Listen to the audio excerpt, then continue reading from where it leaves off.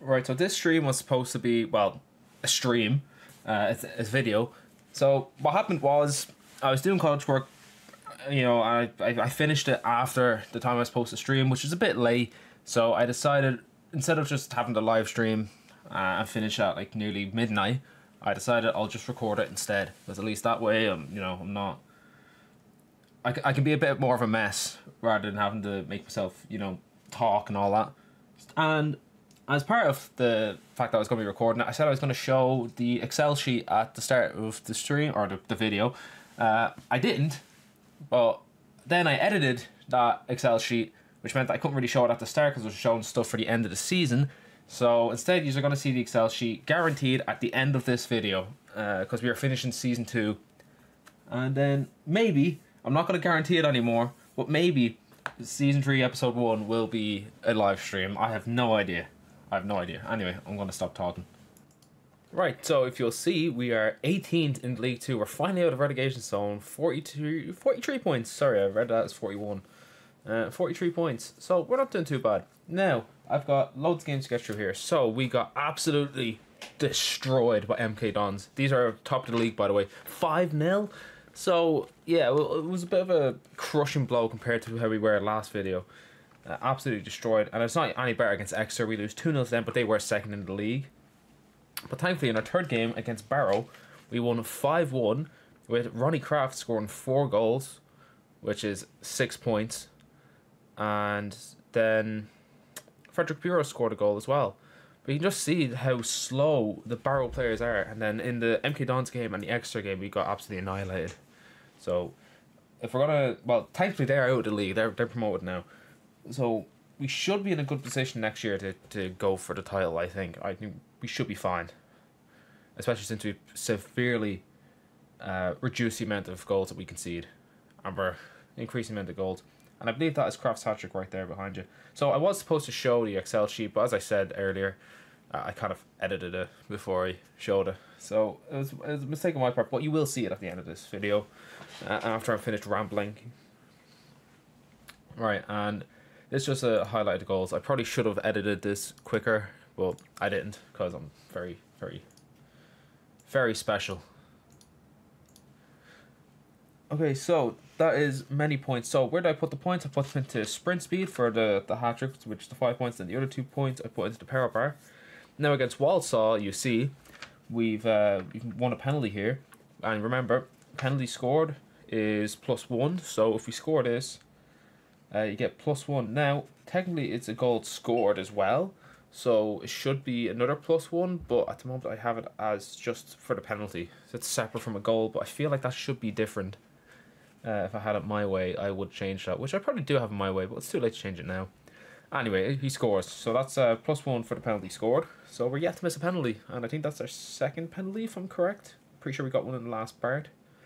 And of course, we concede a penalty of our own, which I don't think it is a penalty, but look, it doesn't really matter. But Niall Byrne whips out the stops again, and that is plus three goalkeeper points, which is excellent. And we won that game 1 0, which was our first win. Uh, actually, sorry, it wasn't our first win. Barrow was our first win. Alright, doesn't matter. Harrogate, we drew 1 all uh, with Ronnie Kraft scoring, so that went into pass speed. Uh, and then, what is this? Cambridge. Alright, so Ronnie Kraft scored a goal, and we put that into pass speed. But unfortunately, that was a game that we lost. So we're not doing too good in this uh, in this part. And you're probably asking why the video is so short. It's because the way I edited this video and it was still in arse ways. Uh, yeah, college is crushing my dreams. Uh, there was Cheltenham where we lost 2 0, so I didn't show anything because what's the point? Um, this is about the goals here, not about the results necessarily. But we win another penalty against Colchester here, and because Frederick Bureau scored the last one, I don't see a need to take him off penalty duties as long as he's scoring. And he puts away a nice tidy finish there, which is plus one, which we put into pass speed. Of course, that was the only goal that we scored in this game as a finish one all, but at least we didn't lose. Next up is Bristol Rovers, in which uh, our hero, Ronnie Kraft, who is now the league's top goal scorer by quite a bit, um, scored a brace. So that's plus three points, and we put that into pass speed. Now, if you're wondering why some of these shots that look so weak are going in, it's because they're finesse shots, and finesse shots are not affected by sliders. So regardless of whether my shot speed or accuracy, whatever it is, it's one. If you finesse shot, it's gonna go back to the default 50 speed, which I find quite strange. Anyway, Bromley next. So we won 3-1 here. When we had two goal scores. Frederick Buer, who scored a brace. So that's plus three points, so we put into pass speed. And Ronnie Kraft, of course, who else? Our very own Haaland, also scored. And we put his plus one into pass speed as well. So, because pass speed is holding us back at the moment a little.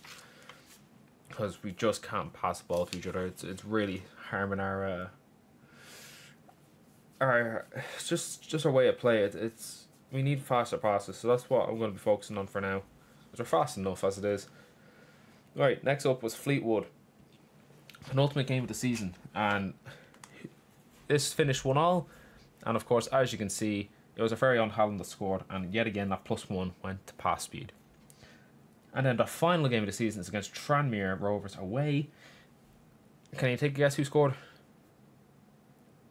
Yeah, well, look, there's your rebound goal. Uh, Ronnie Kraft scored a brace, which was plus three points. Now, you know the goal scorer. Can you guess where I put those points? Yeah, that's right. I, I put it into pass speed.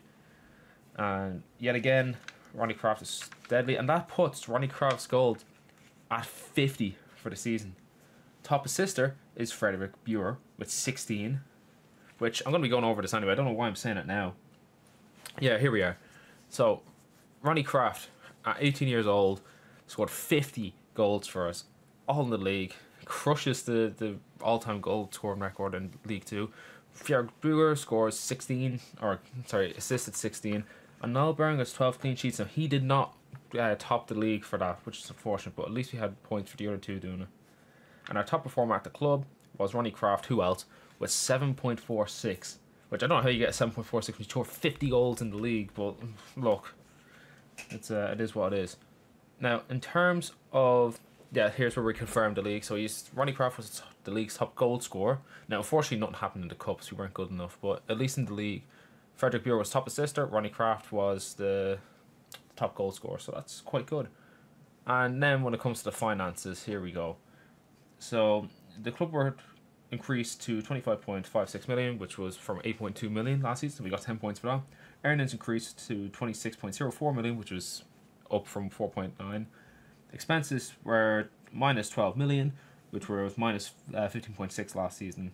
Profit was 13.7 million, which was minus 10.7 last year. And then profit net was 3 million, which last year was minus 10.7. And we finished 14th in the league, which is absolutely fantastic. Now, this is for failing to gain promotion, which is the only thing that AI won this time, and it goes to injury severity, which means that gets a plus 10. Now, I'm pretty sure this should go down to 40 if I've done this right. No, it didn't. It went to 60. So I believe injury severity is swapped. I don't think it goes to 100%. I think 100% is the worst one. Um, yeah. So I think I actually need to fix that. I made a mistake. Apologies. So that needs to go down from 60 to 40. You might need to remind me on that. So I'm just going to go over some of the stats here that you can see. Which is... Oh dear which is the following. So you can see our transfers out were Daniel Martin, Ryan Sykes, and Akram Afif, which we got uh, 21.75 million for. You can see from our youth academy we promoted Linus Becker, who done very well for us. Eden Ray, who hasn't really had enough time to make an impact, but from what I can see, he's been quite good. Uh, Damien Peltier, who has really changed the right back position, so well done. And then Alfonso Gutierrez, who hasn't had a chance to properly make an impact, so him and Ray won't be getting judged, but Peltier and Becker have certainly made an impact. And we didn't buy anyone, so we spent nothing on transfers, which is quite good. We didn't even sign anyone other than our youth academy. So at the start of the season, our club worth was 8.26 million, which, as I said, I've already gone over this, but our club worth has increased. Earnings have increased. Expenses decreased, which is what you want. Profit increased, and then our profit net has also increased.